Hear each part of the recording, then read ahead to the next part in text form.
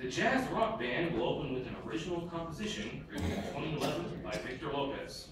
Here is rock hero and soloist Nick Jolley Penna on bass guitar, Maximus Martinez on trumpet, Daz-Irae Newton and Dante Gonzalez on tenor saxophone, Myles Lowery on drums, and Carlos Ruiz on